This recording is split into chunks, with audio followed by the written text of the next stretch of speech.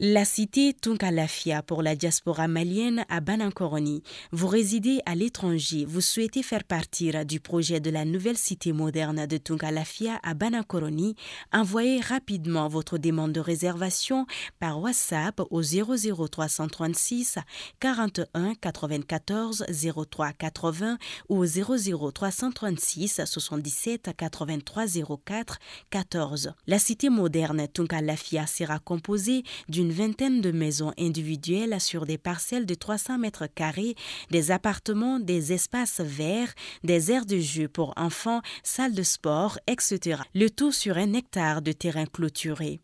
Après l'acquisition des parcelles, vous avez le choix entre la construction avec Tunkalafia d'une villa trois chambres plein pied à partir de 26 millions de francs CFA ou d'un duplex quatre chambres à partir de 35 millions de francs CFA.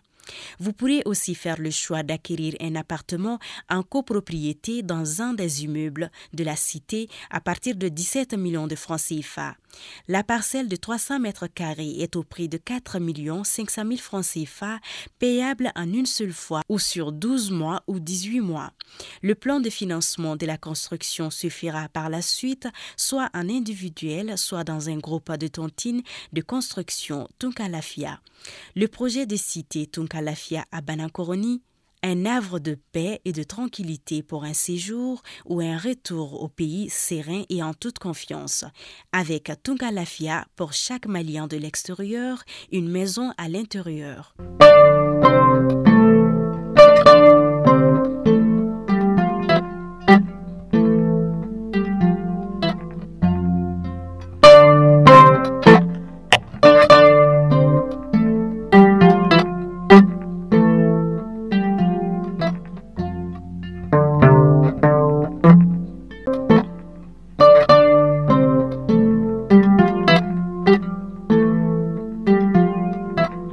Fidèle abonné de Mali c'est toujours un plaisir de vous retrouver. Bienvenue dans ce flash d'information.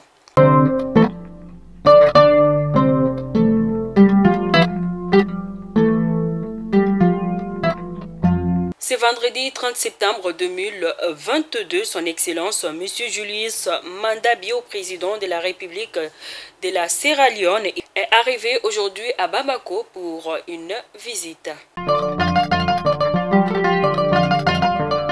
La délégation de la CDAO venue plaider la libération des 46 militaires ivoiriens détenus depuis le 10 juillet 2022 a quitté hier en fin d'après-midi, même si les chefs d'État de la Gambie, du Ghana ainsi que le représentant du président togolais n'ont rien annoncé officiellement. On apprend que les choses pourraient évoluer positivement, notamment avec l'implication du shérif de Nyoro.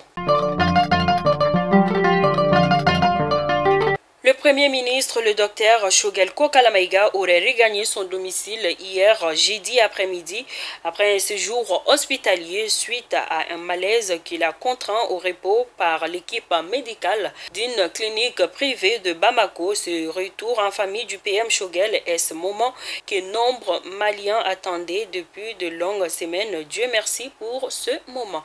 Ainsi, nous souhaitons encore une fois prompt rétablissement au PM. Processus électoral au Mali, les forces vives recommandent une participation des personnes déplacées internes et les populations nomades. En effet, une table ronde organisée dans le cadre de la mise en œuvre du programme Émerge, appuyé par le National Democrat Institute, a réuni à Bamako le 27 au 28 septembre les forces vives de la nation sur la participation des personnes déplacées et les populations nomades dans le prochain processus électoral. Le délai de la commission de la rédaction de la nouvelle constitution a été prorogué au 31 octobre 2022. Présent, les actualités hors de nos frontières au Burkina, c'est vendredi 30 septembre 2022. Des coups de tir ont été signalés dans le pays. Selon le gouvernement burkinabé, la situation actuelle est une crise interne à l'armée et des discussions seraient en cours pour un donnement sans écueil.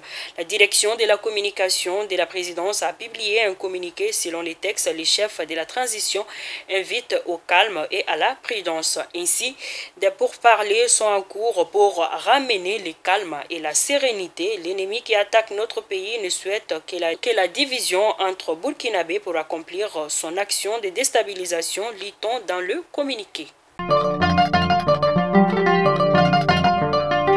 Dialogue national inclusif et souverain au Tchad, les participants débattent des sujets cruciaux comme la prolongation de la transition, l'éligibilité ou non des dirigeants de la transition. Fidèle abonné de Malik Kunafoni, c'est ce qui met fin à ces flashs d'informations. Je vous donne rendez-vous la semaine prochaine pour une autre édition. D'ici là, portez-vous bien. Que Dieu bénisse les Mali et qu'il protège nos femmes. Merci et bon week-end à tous.